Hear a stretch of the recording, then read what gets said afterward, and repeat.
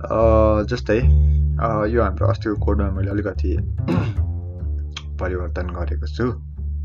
जस्तै के छ अस्ति भन्दाखेरि अस्ति हाम्रो सिम्पल लेफ्ट र राइट मात्रै स्वाइप हुन्थ्यो। अब अहिले चाहिँ अलिकति त्यसमा हल्का फिचरहरू एड भएको छ।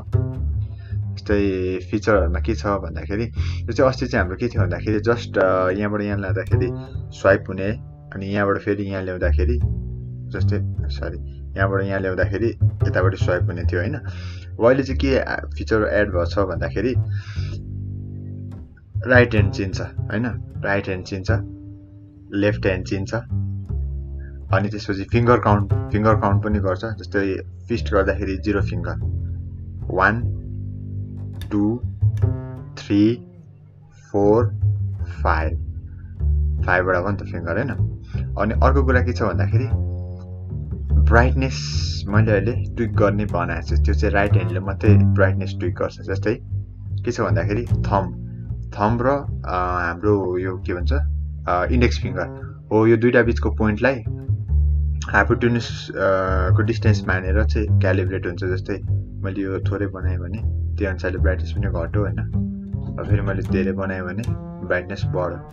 फेरि यसको लागि चाहिँ के हुनुपर्छ भने स्पेसिफिक दुईवटा फिङ्गर चाहिन्छ। फेरि अब यसरी चाहिँ पाँचवटा फिङ्गर देखाइरहेछ त्यहाँनिर।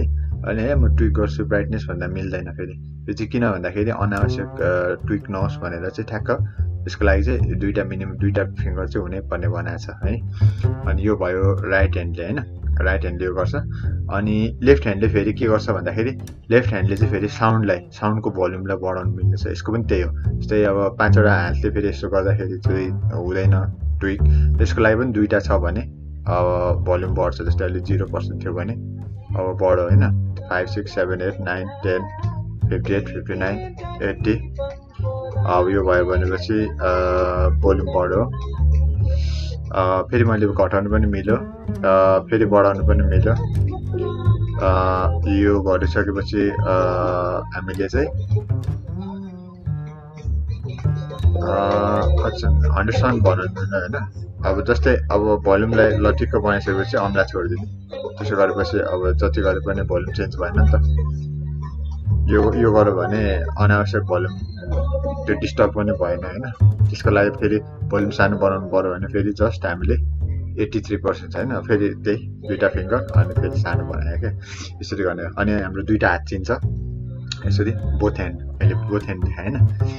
अब यसमा अब अब यतिको चाहिँ अहिले हाम्रो काम यतिको चाहिँ भइसक्यो होइन अब जस्तै अब के के बाँकी छ भन्दाखेरि अब अहिले चाहिँ अब जेस्टरहरू चिन्दैन नि त जस्तै अब यस्तो गर्दाखेरि थम्सअप भनेर देखाउनु पर्ने होइन अब यस्तो गर्दाखेरि पिस साइन भनेर देखाउनु पर्ने अब यो चाहिँ अहिले चिन्दैन यो जेस्टरको लागि चाहिँ यो चाहिँ वर्क इन प्रोग्रेस छ लगभग हाम्रो चाहिँ अहिले हाम्रो भन्नाले नि लगभग यति यति जति चाहिँ कम्प्लिट भएको छ जस्ट यति